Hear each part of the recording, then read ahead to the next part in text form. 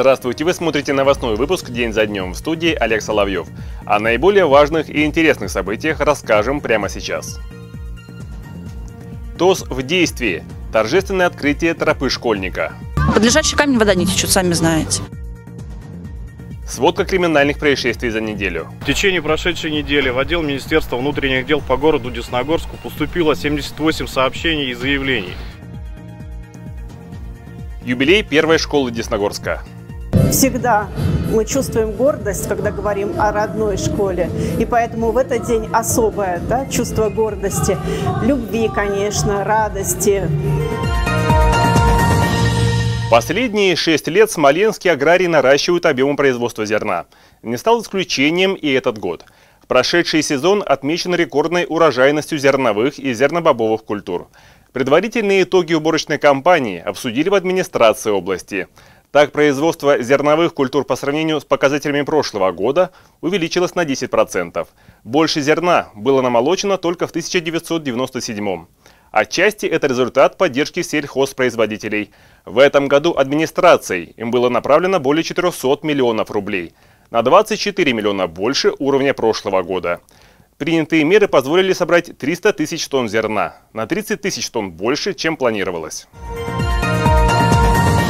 Инициатива ненаказуема. В этом в очередной раз убедились жители Десногорска. Благодаря активной группе более благоустроенным на этот раз стал пятый микрорайон города. Подробности далее. Взять ситуацию под свой контроль и воспользоваться своими законными правами, таких жителей в Десногорске становится все больше. Пятый микрорайон благодаря инициативе жильцов недавно стал еще комфортнее. Около 400 метров новой пешеходной дорожки позволит передвигаться без опасений испачкать обувь или попасть под машину. Долгожданное открытие полотна прошло 28 сентября. Я рада присутствовать на открытии пешеходной тропы. То есть всеобщими усилиями мы добились положительных результатов. Надеюсь, что жители города Десногорска, видя ваши положительные результаты по благоустройству территории, примут решение о том, что можно еще как-то дополнительно свои придомовые территории облагораживать, при поддержке городской администрации жители пятого микрорайона создали первый муниципалитете ТОС – территориальное общественное самоуправление. Следующим шагом инициативных граждан стало участие в конкурсе фонда «Ассоциация территорий расположения атомной станции». Целью конкурса значилось создание благоприятной городской среды в Десногорске. Всего мы подали 13 проектов. Один из самых больших, как бы мы попросили, что если приоритетным, это сделать пешеходную дорожку для школьников. Дети не водят машину, у них нет своего транспорта, чтобы по бездорожью как бы ходить. И все-таки э, частично, чтобы хотя бы они шли ну, в нормальной обуви, как бы не грязными. Первый ТОС муниципалитета под названием «Пятый квартал» победил именно с этим проектом. Деньги были выделены концерном «Росэнергоатом». Воодушевленные своим своим успехом, жители на этом останавливаться не собираются. Мы хотим осветить немножко наш этот э, мост, который вот идет в город сам. А потом э, облагородить как бы по плане рельефа, ну, спроектировать, там, высадить деревья. Под лежачий камень вода не течет, сами знаете. Олег Соловьев, Юлия Соболева, Владислав Полоскин, Десна ТВ. В Смоленской области начался осенний призыв на военную службу. От Смоленщины требуется призвать 540 солдат. Для этого в регионе будет работать 28 призывных комиссий. Смоляне будут служить во всех родах и видах вооруженных сил России. Часть солдат останется в пределах нашей области. Касается это прежде всего женатых молодых людей с детьми. Итоги прошедшей весенней кампании обсудили на заседании областной комиссии под председательством Алексея Островского. Так, прошлой весной войска отправились 1100 смолян. Норма призыва для региона была выполнена на 100%. Губернатор области отметил, что призыв на военную службу – задача государственной важности. О криминальной обстановке в городе расскажет руководитель группы по работе с личным составом ОМВД России по городу Десногорску Сергей Чулков. В течение прошедшей недели в отдел Министерства внутренних дел по городу Десногорску поступило 78 сообщений и заявлений, из которых 6 преступлений. Раскрыто 2 преступления, не раскрыто осталось 4 преступления. Телесное повреждение 12, ДТП с техническими повреждениями 5, смерть некриминального характера 2, прочие 54. Раскрыто ранее совершенное одно преступление – Выявлено 71 административное правонарушение, в том числе 65 за нарушение правил дорожного движения. Преступление террористической направленности не допущено и не выявлено. Жители многоквартирных домов объявили войну питейным заведениям и магазинам алкогольной продукции.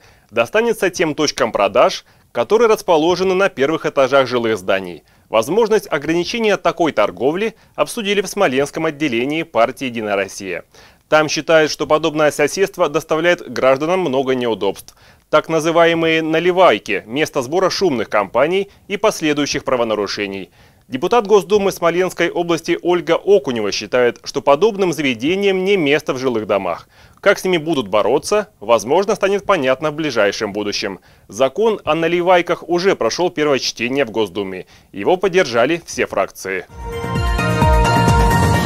Юбилей школы – это не только своего рода историческая веха, но и определенный рубеж. Он дает возможность оценить пройденный путь и уточнить планы на будущее. Вот уже 45 лет гостеприимно открывает свои двери первая школа Десногорска. В честь этого события коллектив образовательного учреждения и его ученики подготовили торжественное мероприятие.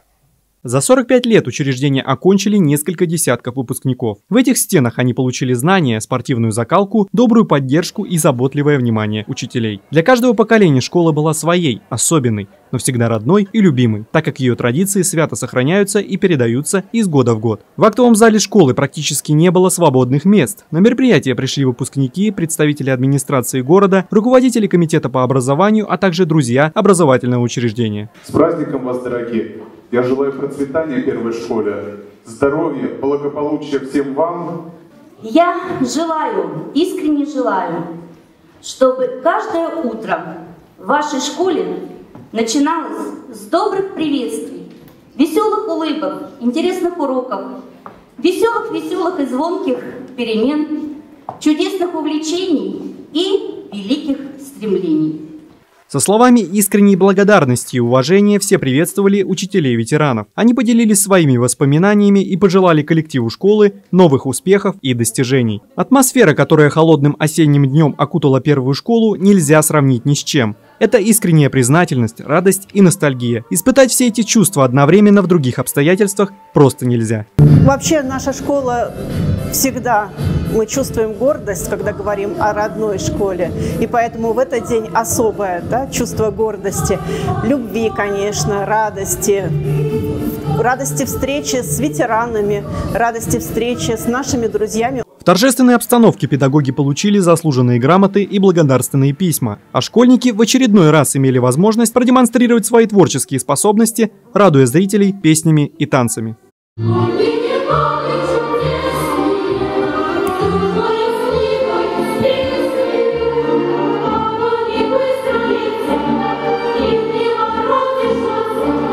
Виталий Волков, Андрей Прохоров, Владислав Полоскин, Десна ТВ.